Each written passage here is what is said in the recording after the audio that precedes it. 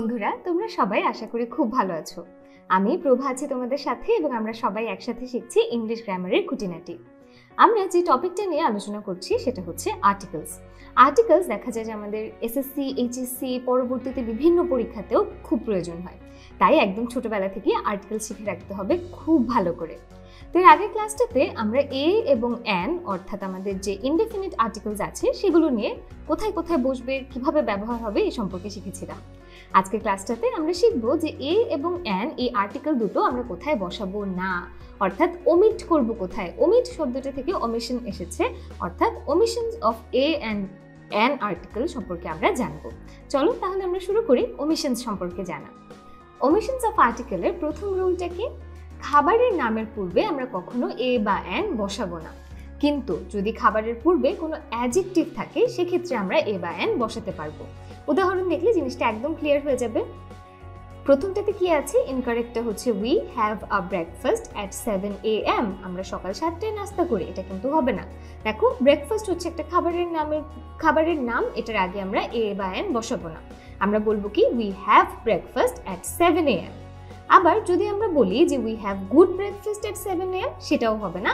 Correct ফর্মটা হবে কি? We have a good breakfast at seven AM তাহলে দেখো ইদার হবে we have breakfast at seven AM অথবা তার আগে যদি আমরা অ্যাডজেক্টিভ দিই, সেক্ষেত্রে বসবে we have a good breakfast at seven AM তাহলে বুঝতেই পারছ যে শুধু যখন খাবারের নামটা আমরা বলব, তার আগে আর্টিকেল এ বায়ান বসবে না।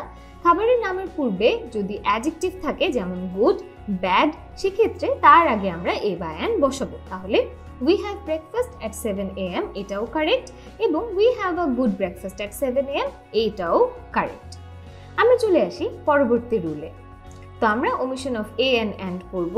তাহলে প্লুরাল নাউনের পূর্বে আমরা এ বা অ্যান বসাবো না এটা তো একদম বেসিক কারণ এ বা অ্যান মানেই বোঝানো হয় একটা, এবং একের অধিক হলেই প্লুরাল তাই প্লুরাল নাউনের পূর্বে কখনোই এ বা অ্যান বসবে না, যেমন রোজেস আর বিউটিফুল হাউজেস আর ইউজফুল তাহলে দেখো হোর্সেস আর ইউজফুল দুটোর ক্ষেত্রে কিন্তু আমরা কি করেছি?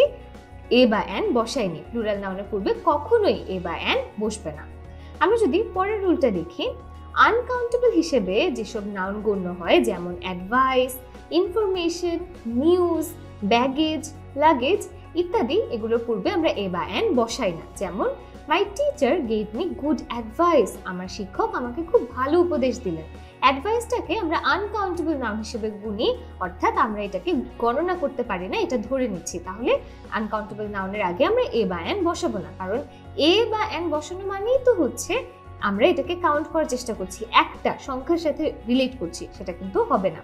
তাহলে my teacher gave me good advice হবে তারপর আছে কি? The police failed to get correct information regarding the murderer তাহলে পুলিশ মার্ডারার সম্পর্কে সঠিক ইনফরমেশন পেতে ব্যর্থ হলো।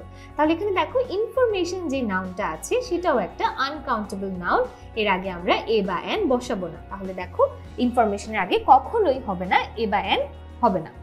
তারপর যদি আমরা চলে আসি water milk hydrogen ink tea paper এগুলোকেও আমরা আনকাউন্টেবল নাম হিসেবে ধরি এবং এগুলোর আগে আমরা এ বা অ্যান বসাই না। যেমন উই রাইট অন পেপার আমরা কিন্তু বলি না যে we write on a paper আমরা সবসময় কি বলি? উই রাইট অন পেপার তারপর আছে উই টেক টি বা উই ড্রিঙ্ক টি সেক্ষেত্রেও কিন্তু টি এর আগে আমরা এ বা অ্যান বসাই না।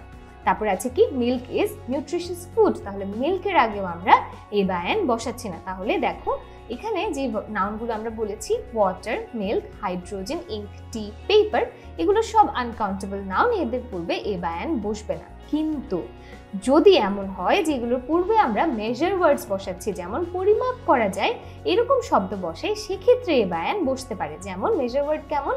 আমরা কিন্তু পানি মাপতে পারি না, কিন্তু আমরা যখন পানিকে একটা গ্লাসে ঢালি, গ্লাসটাকে কিন্তু গুনতে পারি। অর্থাৎ আ গ্লাস অফ ওয়াটার হচ্ছে একটা মেজার ওয়ার্ড তাহলে আমরা বলতে পারি give me a glass of water তাহলে আমরা কিন্তু এটা বলতে পারতাম না যে গিভ মি এ ওয়াটার আমরা, আমাদের বলতে হতো গিভ মি ওয়াটার অথবা give me a glass of water যখন আমরা মেজার ওয়ার্ড গ্লাসটাকে অ্যাড করছি, তার পূর্বে আমরা এ বসাবো। তাহলে give me a glass of water পরের রুলটা যদি আমরা দেখি অ্যাবস্ট্রাক্ট নাউনের পূর্বে আমরা এ বা অ্যান বসাবো না। তাহলে অ্যাবস্ট্রাক্ট নাউনের পূর্বে এ বা অ্যান বসবে না। Kindness is a great virtue তাহলে এখানে কি হবে?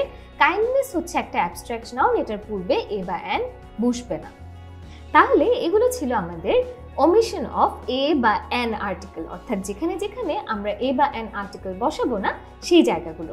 এখন চলো তাহলে আমরা একটু প্র্যাকটিস করে ফেলি, আমরা যেটা শিখলাম। তো প্রথমেই আমরা কোয়েশ্চেনটা করব। Fill in the blanks with appropriate articles if necessary তাহলে আমরা যেটা করব ব্ল্যাঙ্কগুলোকে অ্যাপ্রোপ্রিয়েট আর্টিকেল দিয়ে ফিল আপ করব। প্রথমে কি আছে? Give me dash ounce of paper B নাম্বারে আছে his dash advice was useless সিতে আছে we have dash large meal during lunch ডিতে আছে we have dash lunch at noon এবং ইতে আছে dash honesty is a great virtue তাহলে এখানে প্রথমটা থেকে আসি। Give me dash ounce of paper দেখো আউন্সটা কিন্তু একটা মেজার ওয়ার্ড পেপারের আগে আমরা এ বা অ্যান বসাতে পারব না বাট আউন্সের আগে পারব।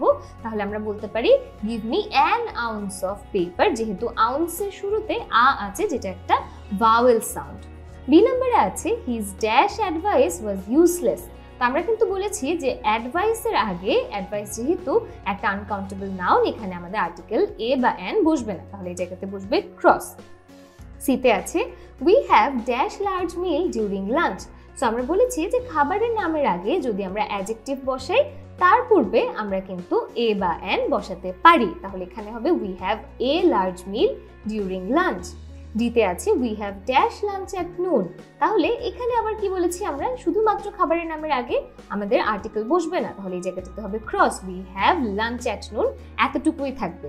এবং সবার শেষে honesty is a great virtue honesty একটা অ্যাবস্ট্রাক্ট নাউন অ্যাবস্ট্রাক্ট নাউনের পূর্বে আমরা আর্টিকেল বসাবো না। তাহলে এখানে বসবে কি? ক্রস তাহলে আমাদের উত্তর কি দাঁড়ায়? An cross a cross cross তাহলে চলো আমরা উত্তরটা মিলিয়ে দিই। তাহলে আমাদের কি হবে? An cross a cross cross আশা করি তুমি যেটা সলভ করেছ সেটার সাথে উত্তর মিলেছে। তোমার সবগুলো উত্তর হয়ে থাকলে তোমাকে অনেক অভিনন্দন। বন্ধুরা thank you so much for being in this class today আগামী ক্লাসে আমরা আর্টিকেল নিয়ে আরও কিছু আলোচনা করব। যেহেতু আর্টিকেলটা খুবই বেসিক একটা ইংলিশ গ্রামার টপিক এটা আমাদের খুব ভালো করে জানা থাকাটা খুবই ইম্পর্টেন্ট তোমরা সবাই খুব ভালো থেকো।